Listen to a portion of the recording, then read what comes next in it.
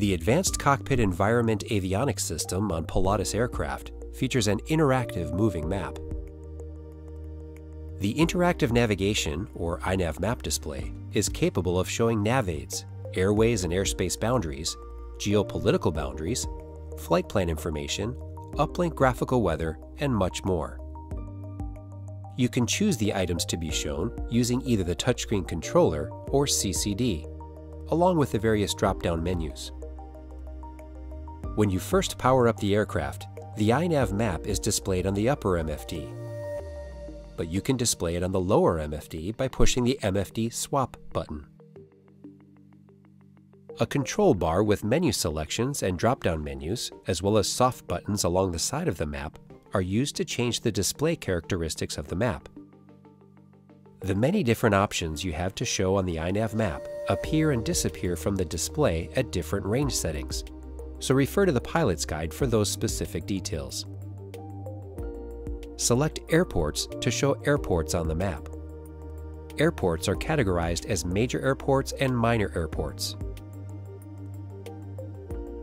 Depending on the selected map range, major airports are shown with the airport identifier and runways when appropriate.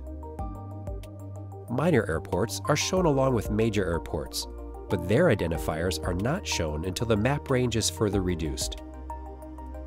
ILS feathers are shown for runways in the navigation database that have ILS approaches associated with them. The VOR selection shows all VHF nav aids, including VORTACs, DME stations, and TACANs. VORs are shown using a nav aid symbol and station identifier. Similar to VORs, you can also show NDBs, Intersections on the map are shown using the intersection symbol and name, depending on the map range. PE waypoints stands for pilot entered. These are shown as squares with the waypoint name. You could use this feature to enter private airports not in the database, or define a place bearing distance. Airways can also be selected on the map they are differentiated by high airways and low airways. The range setting will determine when low and high airways are labeled with their individual identifiers.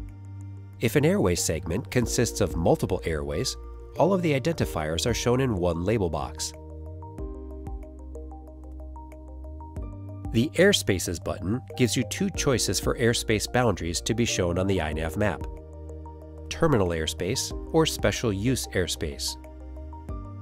The type of airspace is defined by a specific color and line pattern. When you put the cursor over an airspace boundary, the identifier and upper and lower altitude limits of the airspace are shown. Normally, the airspace information is removed when you move the cursor off of the boundary. However, you can keep the information displayed continuously by pushing Enter when the boundary is highlighted and then Pin. It remains on the map until you unpin it. Selecting Info opens the Show dialog box and displays the pop-up keyboard on the TSC. This is the same dialog box that's displayed when you push the Show Info Format button on the TSC.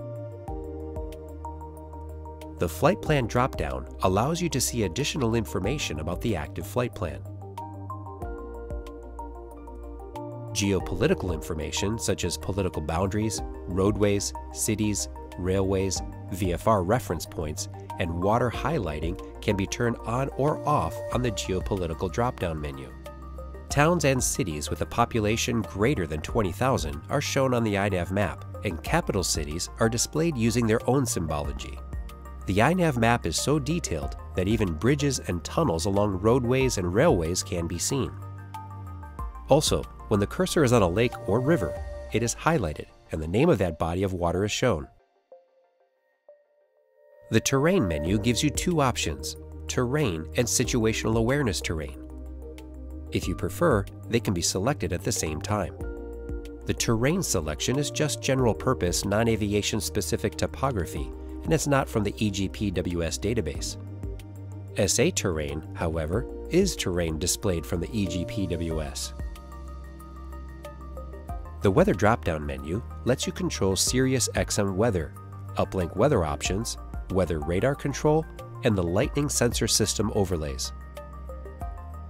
For more details on Sirius XM weather, refer to the XM weather on the Pilatus PC12 and PC24 video. Both Sirius XM weather and uplink weather are options and require a subscription service. The TCAS function shows traffic information on the map. The default setting for TCAS is on.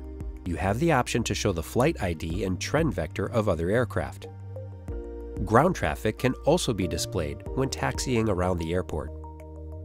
Soft keys displayed vertically along the right side of the iNav map display give you quick access to commonly used features.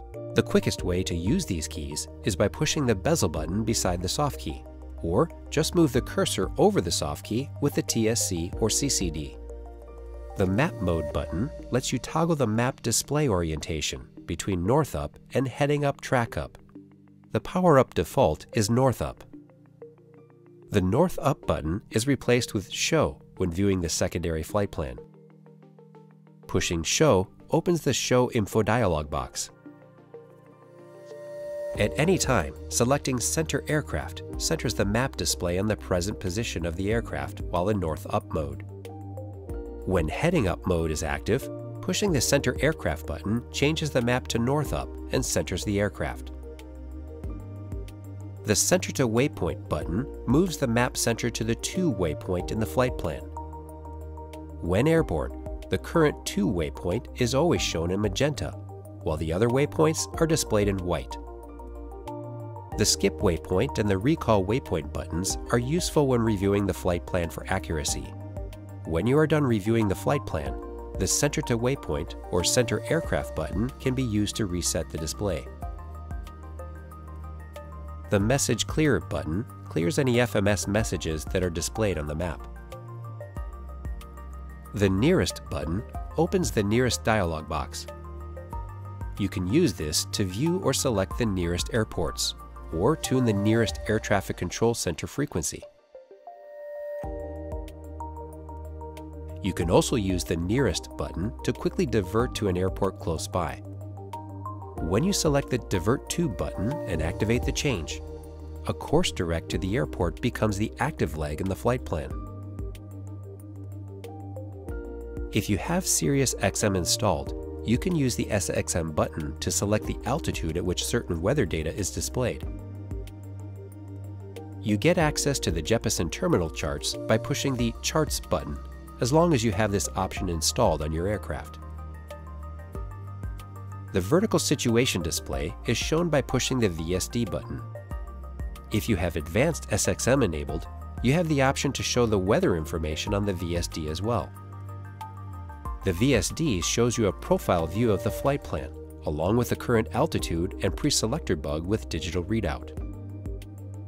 Flight plan items such as waypoints, legs, top-off climbs and descents, and altitude constraints are shown along your route of flight.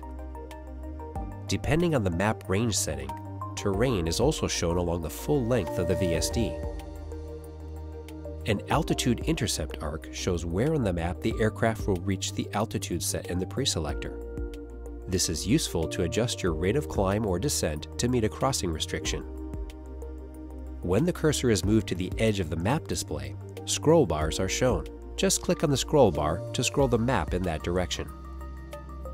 The iNav map on the ACE Avionics System MFD greatly improves your situational awareness and reduces pilot workload by providing quick access to relevant flight information. For more detailed information, refer to the Honeywell Pilot's Guide.